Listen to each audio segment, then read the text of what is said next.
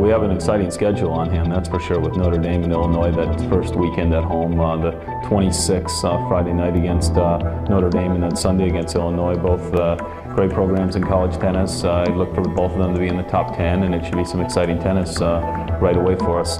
In terms of the nucleus we have back, Treat Huey from Alexandria, Virginia, of course Somdev Varman, the NCAA runner-up last year, and Marco Miklo, who's played a, a, solid role for us over the past few years as our lone senior and and I look for him to uh, continue to contribute. He certainly is someone who comes ready to work every day, and he's got a lot of heart, and he competes so hard, and he really sets the uh, the tone for us uh, each practice with his work ethic and how prepared he comes for matches, and and I look for him to be a great leader for us. And then of course Somdev Varman and and Treat Huey. You know, they played uh, number one and two doubles for us last year, and we look for them to come in and play lead role for us, both in doubles and singles. And Somdev's coming off a great year last year at the end, uh, making the NCAA finals, and you know he's going to be uh, someone who I, I, think is you know only going to continue to get better. And Treat too. You know, Treat had a great fall. He had some great results over the past fall, and you know, look for him probably to be in the top 25, top 30 in the country right away. And, and I think he'll play very high in the lineup for us and have an immediate impact. And they're just both great guys, and, and uh, certainly I look for them to play a leadership role as well, three of them, Marco, Treat, and Somdev.